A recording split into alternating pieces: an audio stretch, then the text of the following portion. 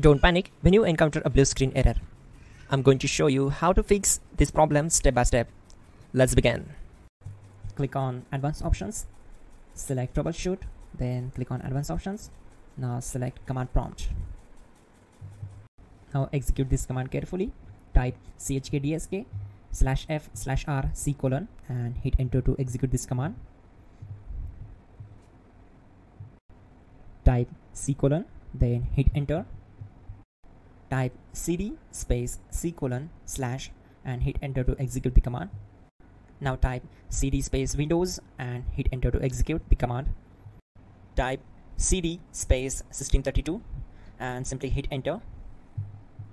Now type cd space config and simply press enter to execute this command. Now execute this command type md space backup and simply hit enter.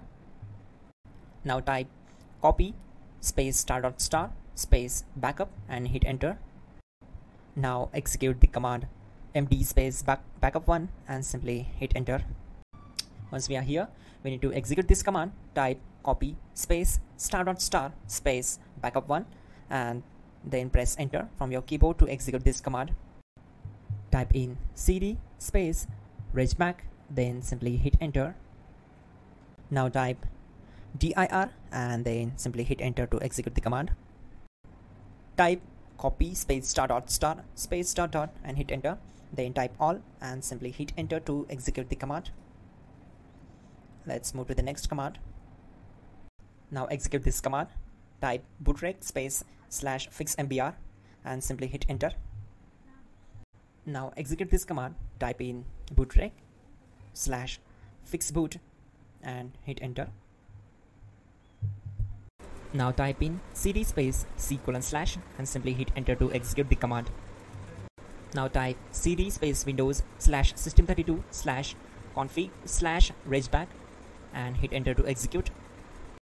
Now type this command bcd edit space slash export space c colon slash bcd backup and hit enter. Now type cd space c colon slash and hit enter. Now execute this command type md space boot and simply hit enter to execute this command. Type cd space boot and hit enter. Now type md space bcd and simply hit enter to execute this command. Now type cd space c colon slash and simply hit enter. Now type attrib c colon slash boot slash bcd dash h dash r dash s and hit enter. Now execute this command type ren space c colon slash boot slash bcd space bcd dot old then simply hit enter to execute this command. And once done let's move to the next command.